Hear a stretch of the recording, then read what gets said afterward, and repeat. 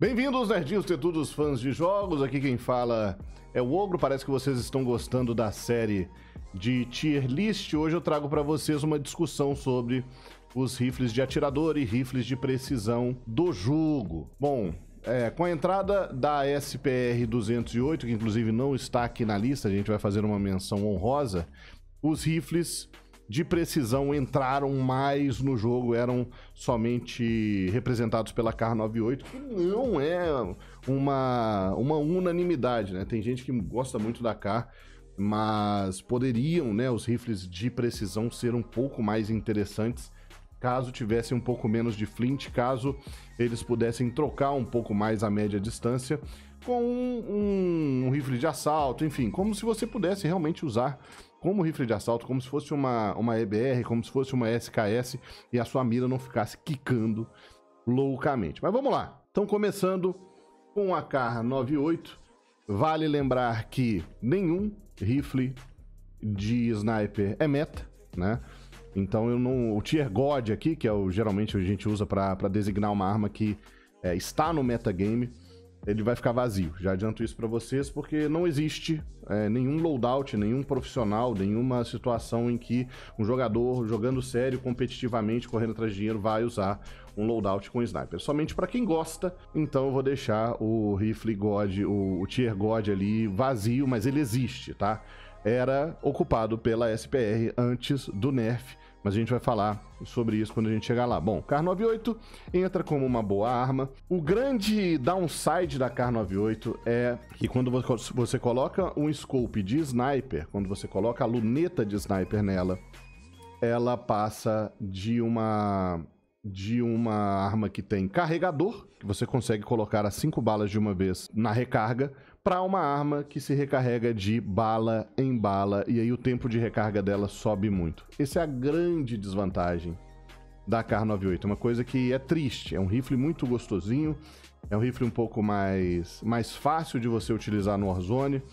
Geralmente os encontros no Warzone, as batalhas não são tão a longa distância.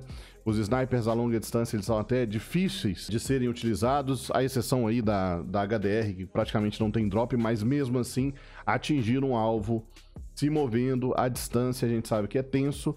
A velocidade das balas não ajuda muito, não é nem próximo de, de uma precisão de sniper da vida real, né? Então, a 400 metros seria um tiro quase que instantâneo. O sniper acerta a 1 km, 1 km e 500 em algumas situações aí. Então a K98 fica aí como uma boa arma, tem essa desvantagem grande, o restante da, da arma eu gosto muito, gosto do peso, gosto do como ela é manuseável, gosto do dano, mas realmente essa parada de ter que recarregar bala por bala é para mim um deal breaker. SKS. SKS é uma arma que precisa de amor, a gente vai falar um pouco desses rifles de atirador que tem um pente um pouco maior e uma cadência de tiro um pouco maior no Warzone, porque a gente tá falando de Warzone aqui. Mas por quê? A munição de sniper ela é bastante escassa no Warzone. Vale lembrar que a sua reserva de munição de sniper são apenas 40 balas. Se o pente da SKS tem 20 e você vomita essas balas rápido, você fica sem munição rápido. Se você tem outras pessoas no seu esquadrão que também usam rifles de atirador ou de sniper, Vai ser difícil eles te droparem essa munição. Então, você fica faminto por munição usando uma SKS. Independente do boa ela é em relação a range, em relação a alcance, em relação ao dano, em relação ao dano do headshot, você acaba ficando sem munição pela logística do jogo. Então, não compensa a SKS para ela começar a funcionar um pouco no Warzone. A galera vai ter que repensar essa arma aqui. Provavelmente é uma arma um pouco mais pensada para multiplayer e no multiplayer competitivo nem sequer usam, né, rifle de atirador, rifle de sniper, então é uma arma completamente esquecida. Crossbow nem vou falar muito, né? Meme do meme. Isso aqui é para você zoar com os amigos, isso aqui é para você utilizar na, no aquecimento antes da partida, não tem problema. Dragon 9, meu Deus do céu. Entre Crossbow e Dragon 9, às vezes eu penso que eu pegaria o Crossbow. O Dragon 9 é triste demais. É muito triste. É uma das armas mais infelizes que eu usei para pegar Damasco. Como ela é ruim, velho. Como ela é ruim. O recuo dela é ruim. O Dragon 9 é o suco do lixo, velho. Meu Deus do céu. Eu me pergunto se tem alguém que, por vontade própria, escolhe esse rifle e fala assim: Dragon 9 é boa demais, porque ela é horrível. É simplesmente horrível. HDR a gente vai colocar aqui como uma boa arma. Eu usei HDR durante muito tempo, já fiz vários vídeos falando da X50 em relação a HDR. HDR, ela é, não tem nada dentro do jogo, nem fora do jogo, falando sobre a limitação dela, mas a gente sabe que a HDR ela não responde, a mira dela não é estável o suficiente para acertar os alvos quando você move a mira rápido. Você tem que segurar a mira no mesmo spot para ter certeza que ela vai atirar lá. É como se ela tivesse um atrasozinho. Se você tenta dar um quick scope com HDR, esquece. Se você tenta mover a sua mira relativamente rápido para acertar um alvo, né, não precisa ser um quick scope, não precisa ser a cor distância, esquece, não vai acertar. Né? A mira dela é meio errática. Você erra tiros que era para acertar, você acerta tiros que era para errar. Ela é muito estranha, a sensação é de, de, de estranheza. Que não acontece quando você usa a X50 quando você usa a X50. Essa consistência está lá.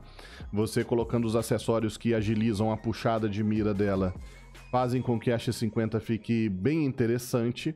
Mas é, ainda assim é um rifle pesado, ainda assim é um rifle para trocas a longa distância. Nem sempre nós temos é, essas condições de, de clareza né, no ambiente, um inimigo sem cover andando no aberto para você tentar os seus tiros.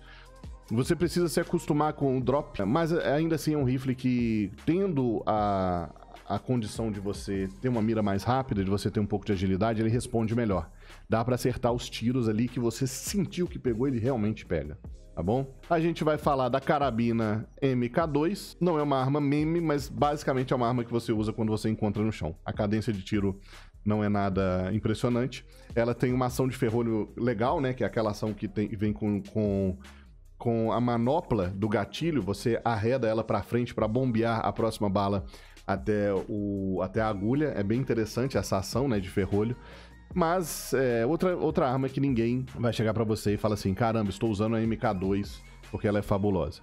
E entra também a EBR nesse slot Precisa de Amor. É, a EBR pelo mesmo motivo da SKS. Ela tira bastante rápido, a cadência dela é bastante legal, o dano é bacana, eu gosto da EBR, só que a escassez da munição de sniper faz com que esse rifle de atirador não seja viável.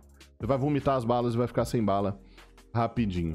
O que eu gosto da EBR também é a ausência de recuo. Você praticamente consegue usar ela como uma FAL, como um rifle semiautomático de média distância, longa distância. Aí cai naquela questão da nossa querida munição, né? Mas é uma arma que se tivesse alguns ajustes ali, poderia ser utilizada no Warzone. E aqui, representada pela Renet, eu vou colocar a SPR-208, que é a última sniper que foi lançada aí para dentro do Warzone. Ela veio extremamente forte, com uma velocidade de bala praticamente instantânea, sem drop nenhum, continua sem drop, mas agora você precisa pensar nos acessórios que você vai colocar. E na última atualização ela sofreu um buff transformando o dano mínimo que ela causa para 90. Então ela tem um dano melhor do que a Kar 98 tem mais cadência de tiro do que a Kar 98. Eu tô falando da Kar 98 porque são da mesma, são da mesma categoria, né? Tem um vídeo de análise muito detalhada comparando a SPR 208 com a X50 e com a Kar 98 aí no canal, se vocês quiserem ver. E ela é extremamente consistente nos tiros na cabeça. É um rifle para acertar na cabeça. Não tem drop até 300, 400 metros. É muito tranquilo de você arrancar aqueles capacetes. E atualmente é o meu sniper de escolha. Novamente falando, não existe um tier god de sniper.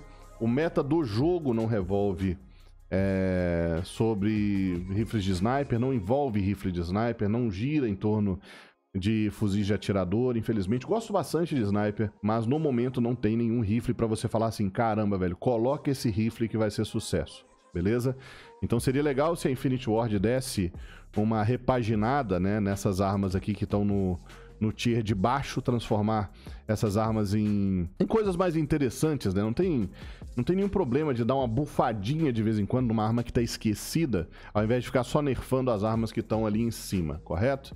Espero que vocês tenham gostado. Deixe nos seus comentários aí se vocês concordam ou discordam de alguma classificação. Deixe o seu like, compartilhe e se inscreva no canal. Lives todos os dias em twitch.tv barra jogue como ogro. Um beijo do ogro. Até a próxima.